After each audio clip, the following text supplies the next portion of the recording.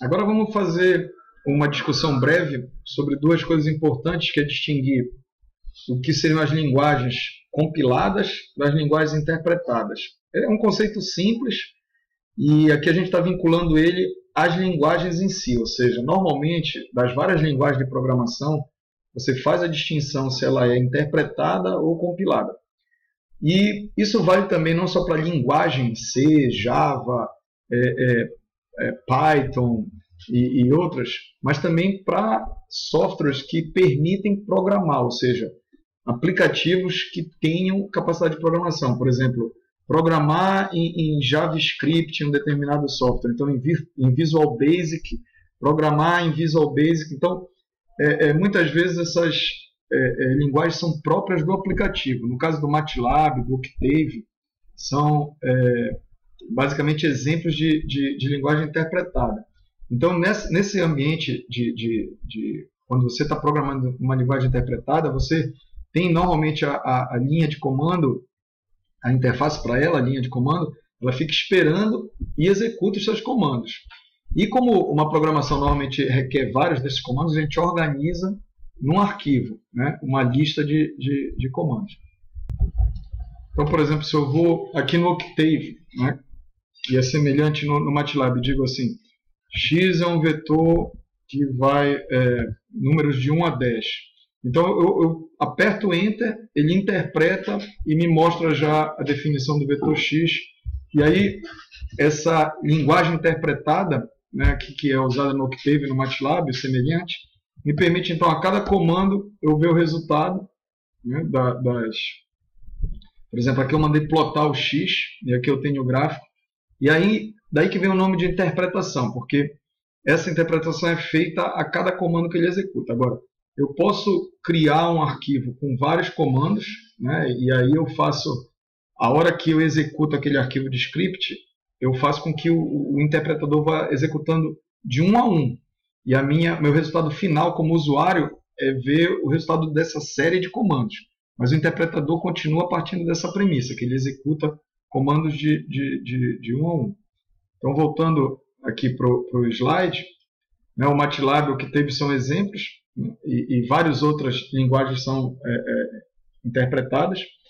O, o, C, a linguagem C, é um exemplo de linguagem compilada, né? e a gente tem um, um, um compilador C que é muito famoso, que é, é, é, GNU, e por isso o nome é GCC. Então, se você ainda não tem é, é, instalado, eu sugiro que instale. Ele tem tanto versão para Windows quanto para Linux. Né? Então, o GCC é talvez o compilador mais famoso C no mundo.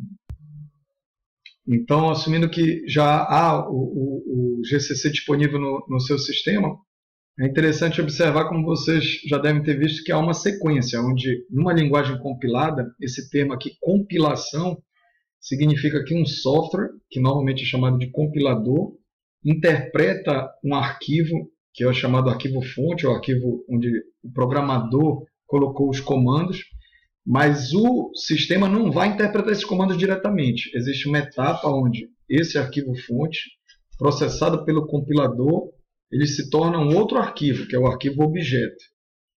Aí esse arquivo objeto, em sistemas sofisticados como o de compilação em C, usado pelo GCC, ele ainda não é o executável.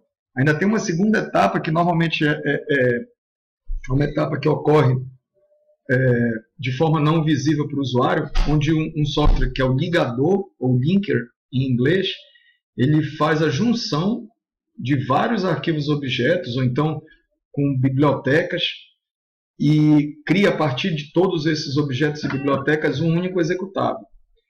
Então, o que às vezes faz com que esse processo de ligação fique oculto é que compiladores como o GCC eles são chamados compiladores, mas eles têm embutidos também softwares para fazer a ligação e essa ligação ocorre muitas vezes sem que o usuário perceba. Então, por exemplo, é, tanto a compilação quanto a ligação, elas aparecem, esses dois passos, eles são feitos numa tacada só quando você usa esses comandos. GCC compila um arquivo para gerar um executável. Mas eu também posso explicitar e dizer com essa chave "-c" que eu quero só compilar. Ou seja, eu não quero executar a tarefa de ligar. Nesse caso, eu só gero o arquivo objeto. E aí depois, ao invés de eu estar lidando com o arquivo fonte, que é o ponto C, eu lido com o arquivo objeto, que é o ponto O, e aí numa segunda etapa que eu chamo ligador, e aí ele gera o arquivo executável. Eu vou dar o, exemplo aqui, ó, assumindo o, o, o Windows, então eu tenho alguns arquivos C, digamos que eu queira compilar esse cidadão aqui com GCC. Então, é, eu vou colocar menos O que eu quero que output, a saída seja o executável. Então, nessa hora, o GCC está sendo invocado e ele está fazendo a compilação e também a ligação. Ou seja, ele está não só funcionando como compiler, mas também como linker. Ele vai gerar agora o executável. Então, se eu vir aqui, quais são os meus os arquivos? É, eu tenho o executável né, pronto para ser executado. Notem, ó, o C tinha 199 bytes e o executável tem 91 mil bytes. Mas agora, para ficar didático, eu vou quebrar, eu vou quebrar a, a tarefa de compilação em duas. Eu vou dizer GCC não invoque o ligador, só compile, não vou gerar executável. E agora notem, eu tenho, além do é, executável, eu gerei, na verdade, a partir do C, que é o código-fonte, eu gerei o arquivo objeto. E aí ele tem um tamanho de mil bytes nesse caso. Agora eu vou fazer a segunda etapa, que é o ligador vai ser chamado para assim gerar o executável. No caso, esse executável aqui eu já, já tenho porque foi gerado na, na vez anterior. Né? Mas agora eu tenho então a geração e aí vocês veem que o executável, por isso que o nome é ligador, o executável tem muito mais código.